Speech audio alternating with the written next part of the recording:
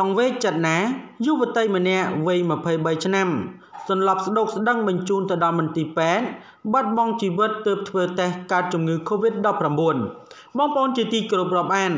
សង្ឃឹមថាបងប្អូនប្រជាពលរដ្ឋទាំងអស់ បើចូលរួមប្រុងប្រយ័ត្នឲ្យបានខ្ពស់បើមួយរយៈចុងក្រោយនេះពិតជាមានការព្រួយបារម្ភមែនទែនបន្ទាប់ពីមានករណីចេញចូលភូមិមួយចំនួន ដោយបើការចេញចូលរបស់ពួកគេហាក់បីដូចជាមិនខ្វល់អំពីជំងឺ Covid អ្វីបន្តិចសោះ នៅក្នុងសកម្មភាពមួយនេះក៏មានលក្ខណៈការលួចជួបជុំនានាដែលកើតមានឡើងនៅតាមភូមិឃុំមួយចំនួនក៏ដូចជានៅតាមបណ្ដាខេត្តនិងនៅរាជធានីក៏ត្រូវបានសមត្ថកិច្ចចាប់បានជាបន្តបន្ទាប់ហើយយកអនុវត្តទោសទណ្ឌជាបន្តបន្ទាប់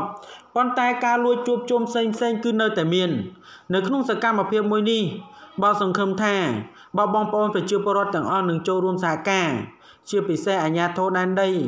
លោកនឹងចូលរួមផ្ដល់ដំណឹងផ្សេងផ្សេងទៅកាន់សមត្ថកិច្ចដើម្បីដោះស្រាយឲ្យទាន់ពេលវេលា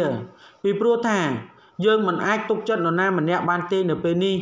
COVID នៅជុំវិញខ្លួនរបស់អ្នកបើសិនជាអ្នកបើមិនប្រុងប្រយ័ត្នឲ្យបានខ្ពស់វាអាចឆ្លងគ្រប់ពេលនិងគ្រប់វេលា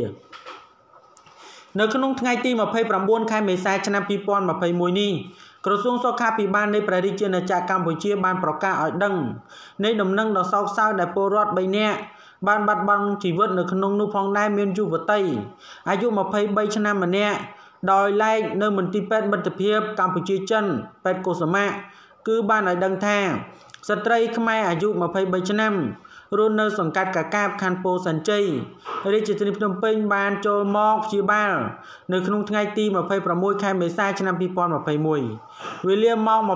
22:55នាទីនៅក្នុងស្ថានភាពបានសន្លប់បាត់បង់ស្មារតីនៅពេលចូលទៅដល់មន្ទីរពេទ្យក្រុមគ្រូពេទ្យបានពិនិត្យភ្លាមភ្លាមហើយបានបញ្ជាក់ថាគាត់បានបាត់បង់ជីវិតដោយសារតែ COVID រួចទៅហើយនៅក្នុងពេលចូលទៅដល់មន្ទីរពេទ្យ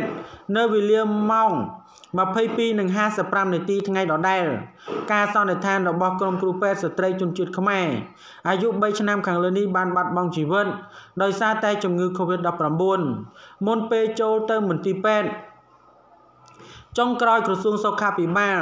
សូមចូលរួមរំលែកទុកយ៉ាងក្រៀមក្រំនិងប៉ុនពេកនិងសូមចូលរួមបើមរណទុក